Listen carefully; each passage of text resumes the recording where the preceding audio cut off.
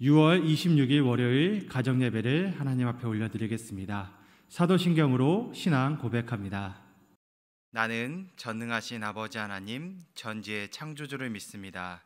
나는 그의 유일하신 아들 우리 주 예수 그리스도를 믿습니다. 그는 성령으로 잉태되어 동정녀 마리아에게서 나시고 본디오 빌라도에게 고난을 받아 십자가에 못 박혀 죽으시고 장사된 지 사흘 만에 죽은 자 가운데서 다시 살아나셨으며 하늘에 오르시어 전능하신 아버지 하나님 우편에 앉아 계시다가 거기로부터 살아있는 자와 죽은 자를 심판하러 오십니다. 나는 성령을 믿으며 거룩한 공교회와 성도의 교제와 죄를 용서받는 것과 몸의 부활과 영생을 믿습니다. 아멘. 이 시간에는 주님 마음 내게 주셔서 찬양 나누겠습니다.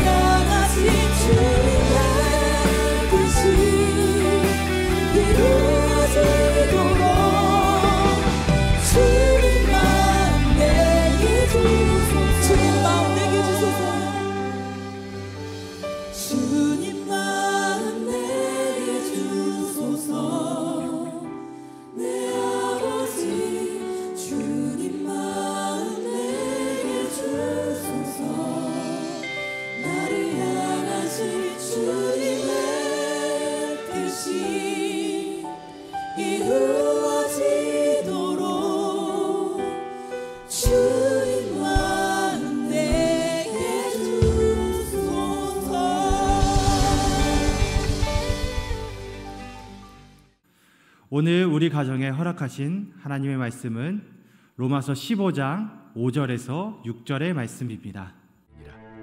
이제 인내와 위로의 하나님이 너희로 그리스도 예수를 본받아 서로 뜻이 같게 하여 주사 한 마음과 한 입으로 하나님 곧 우리 주 예수 그리스도의 아버지께 영광을 돌리게 하려 하노라. 성경에 보면 가인과 아벨, 이스마엘과 이삭, 에서와 야곱, 요셉과 형들의 그 사이는 형제의 갈등을 대표하는 성경의 이야기입니다. 형제의 갈등은 인류의 뿌리 깊은 그 죄성을 우리에게 잘 드러내주고 있습니다.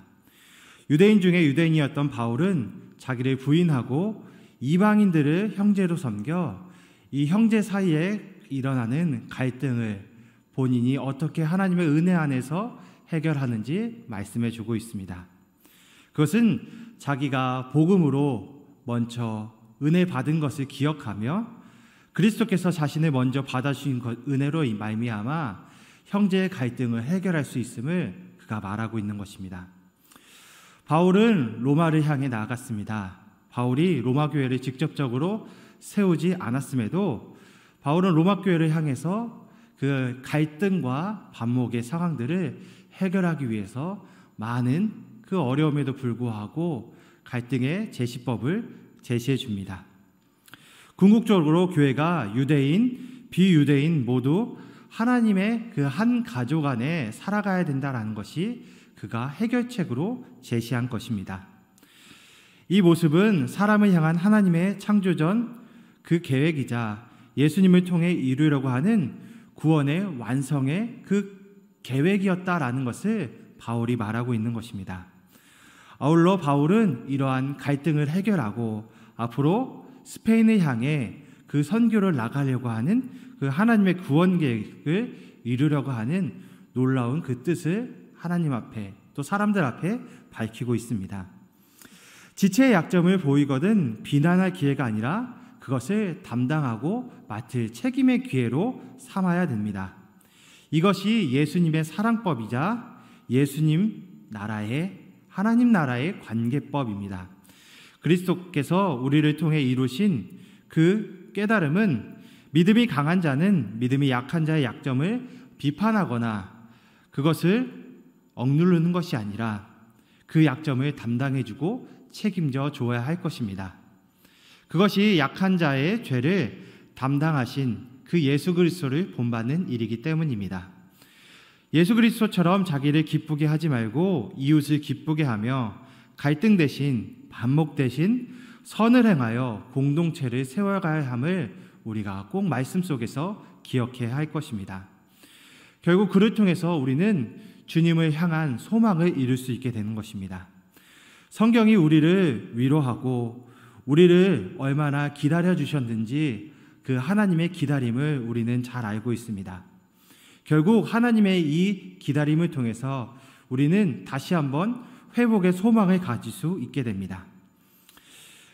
하나님이 다른 사람들을 품어주시며 그들에게 소망을 주시는 하나님으로서 유대인과 이방인, 믿음이 강한 자와 약한 자 모두 예수 그리스도 안에서 하나가 되게 해주셨습니다. 그로 인해서 하나가 된 공동체로서 앞으로 전진해 나갈 수 있는 소망을 품게 되었다라는 것입니다.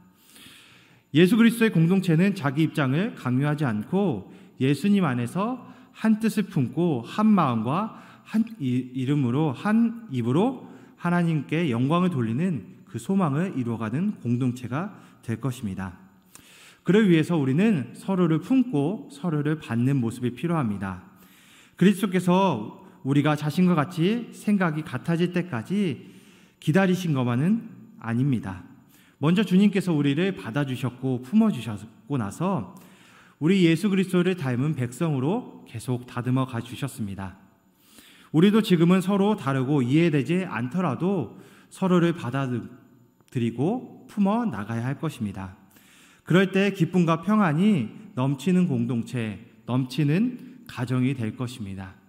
오늘 우리 주님께서 우리를 품어주시고 우리에게 소망을 주시는 것을 기대하며 우리 함께 서로를 받아들일 수 있는 아름다운 하루 되시길 바랍니다.